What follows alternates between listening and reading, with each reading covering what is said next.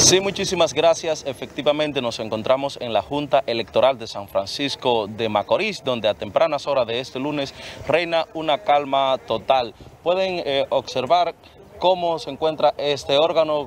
Eh, la única persona que hasta este momento se han dado cita eh, son los miembros de la Policía Nacional y del Ejército, los cuales han estado desde acá, desde hace unos días, para resguardar este recinto.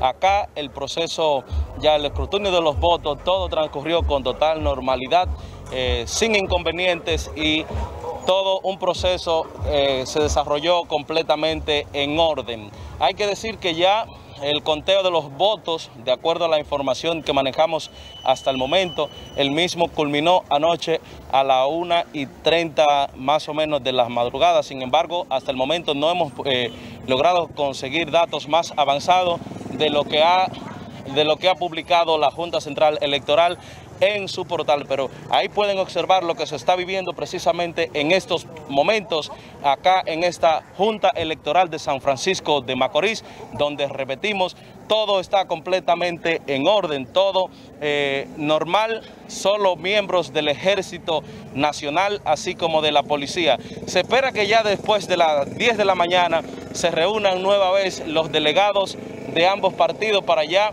eh, culminar con eh, los, los, detalles, ¿verdad?, de este escrutinio de los votos, los cuales, repetimos, anoche se culminó con el proceso y eh, estamos a, la espera ya de un resultado determinante. Hasta el momento, es todo lo que tengo por el momento. Retorno con ustedes al estudio.